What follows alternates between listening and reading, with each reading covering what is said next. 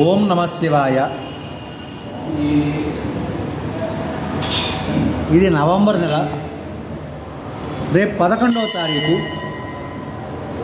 మాస శివరాత్రి సందర్భముగా బలివేలో చేద్దాం అనుకుంటున్నాం మేము.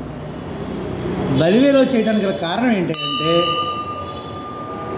అది బలి చక్రవర్తి చేత నిర్మింపబడినటువంటి శివాలయం. బలి చక్రవర్తి అంటే మనకి పూర్వగాథ అందరికీ తెలిసిన విషయమే. తర్వాత రాములు వారు లక్ష్మణస్వామి భరత శత్రుఘ్నులు వీళ్ళందరూ వెళ్ళి దర్శించుకొని స్వామివారికి ని- అక్కడ చేసి చేయవలసినటువంటి పూజా విధానం చేసి మానవ జీవితం కాబట్టి వారు తరించారు. తర్వాత ఎవరై అంటే మహాభారతం జరిగినప్పుడు అర్జునుడు అనేక రకాలైనటువంటి సేనల్ని ప్రజల్ని వారి యొక్క విరోధుల్ని వీళ్ళని సంహరించవలసి వచ్చింది. శ్రీకృష్ణుడు పరమాత్ముడి చేత యొక్క అనుగ్రహ ప్రకారము ఆయన సంహరించారు. ఈ సంహరించినప్పుడు పూర్వకాలంలో మనకి ఇన్ని గుళ్ళు కట్టడానికి రాజులు ఇన్ని మాన్యాలు ఇవ్వడానికి గల కారణం ఏంటి అంటే యుద్ధాలు చేసేవారు. ఒకళ్ళకొకళ్ళు చక్రవర్తులు అవుదామని. అది చేసినప్పుడు ఏమైందంటే తెలుసో తెలియకో పాపపుణ్యాలు జరుగుతూ ఉంటాయి. కొన్ని బ్రహ్మహత్యా పాతకాలు జరుగుతాయి.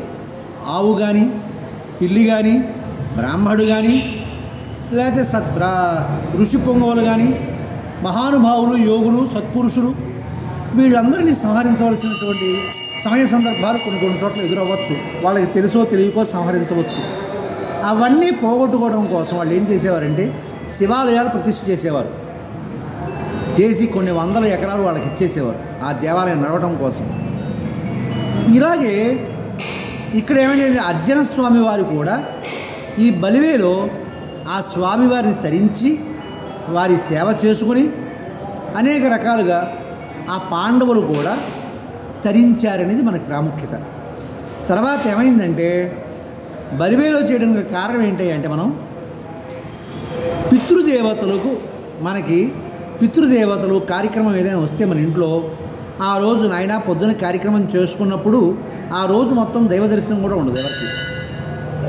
ఒకవేళ నిత్య దీపారాధన నిత్య ద- దైవ దర్శనం ఉంటే కనుక ఆ పితృ కార్యక్రమం చేసుకునే లోపే చేసేయమని చెబుతాం మేము.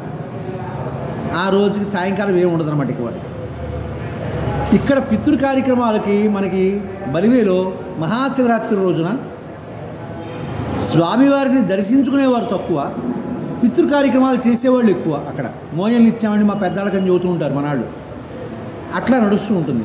కాబట్టి ఈ బలివేలో చేసుకోవడం మూలకంగా ఈ ఈ రోజుల్లో బ్రాహ్మణులు అయితే కనుక ఒక తద్దినం పెట్టాలంటే ఈ రోజున పదివేలు అవుతుంది ఈజీగా. యావరేజ్గా. అదే వైశ్యాసలో ఇంకొద్దిగా రెండు మూడు వేలు అవుతుంది. అలాగే అన్ని వర్ణాల్లోనూ ఆ రోజు ఖర్చుతో కూడుకున్న పని. సరే కొంతమంది మహానుభావులు పెడుతున్నారు. కొంతమంది వాళ్ళ వృత్తిరీత్యా కుదరక పెట్టలేకపోతున్నారు. ఇలాంటి సందర్భాలు చాలా ఎదురవుతున్నాయి అందరిలోనూ. కాబట్టి వీటన్నిటి దోష పరిహారార్థము మనం బలివేలో ఒక్కసారి అభిషేకం చేసుకుంటే కొంతవరకే కాకపోతే కొంతవరకైనా సరే మనం ముందుకు సాగిపోవటానికి అవకాశం ఉంటుందని నా భావన. ఓం నమ శివాయ.